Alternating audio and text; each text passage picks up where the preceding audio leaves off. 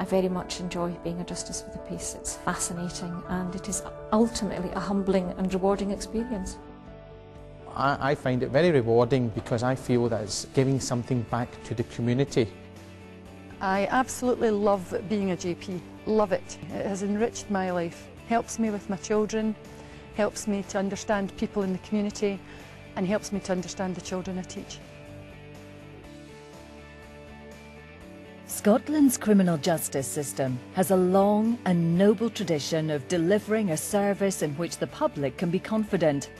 One which is independent, accessible, effective and serves all communities fairly. Currently, there are three criminal courts in Scotland.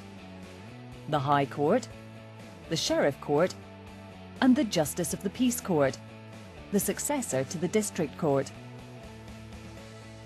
In Scotland, cases are heard under one of two types of criminal procedure, summary procedure and solemn procedure.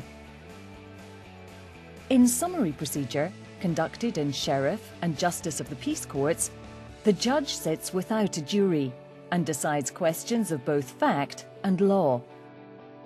The vast majority of cases in Scotland, almost 95%, are heard in our summary courts, and of these, well over a third are heard in our Justice of the Peace Courts, which are, as the name suggests, presided over by Justices of the Peace, or JPs.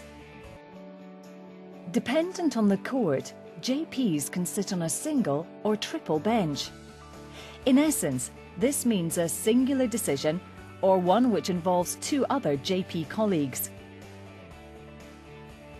The Justice of the Peace has been around for hundreds of years. It's always been seen as an important part of society that people are judged by their peers.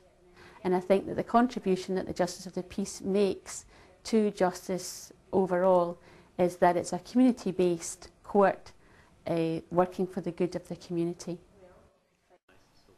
The volunteers that we get to sit in the bench are, are vital to the Justice of the Peace Court without them, the courts wouldn't be able to exist in, in the form that they do so, and it's seen uh, by all involved in the justice system as a very important part of the system that at our level we have laypersons administering justice.